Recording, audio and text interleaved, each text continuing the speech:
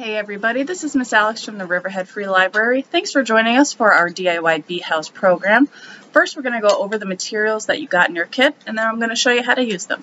So to start with we have this tin can, two toilet paper rolls, some scrap paper, and a cup of glue.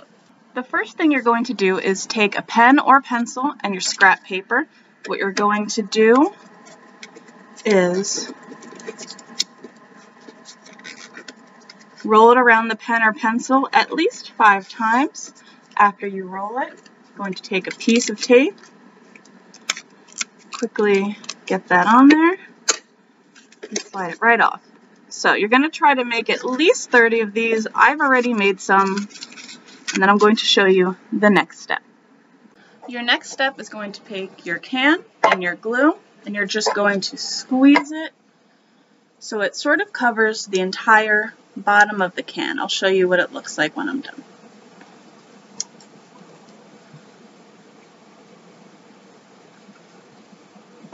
Alright, so you're going to want it to cover it like that. And then you're going to take your two tubes and just put them in like that. They'll need a couple minutes to dry, so just let it. After that dries, you're going to take your pre-rolled tubes and you're going to put at least two, three on the sides of the tubes like that. You can put three more on this side. Don't push it too much. You want it to be full, but you don't want to overfill it.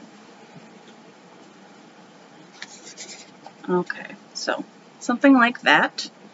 And then you're going to take the rest of yours and start filling them in the paper, in the toilet paper tubes. When you're done, it's going to look something like this. Now, this you're going to put at least three feet off the ground if you can, somewhere very stable, um, so it doesn't fall off or blow over in the wind. Um, if any bees do start to use it, you're going to start seeing it be plugged up with mud, and that means that uh, little baby bee eggs are being laid. Alrighty, show us any pictures of your progress, please, and have a good day.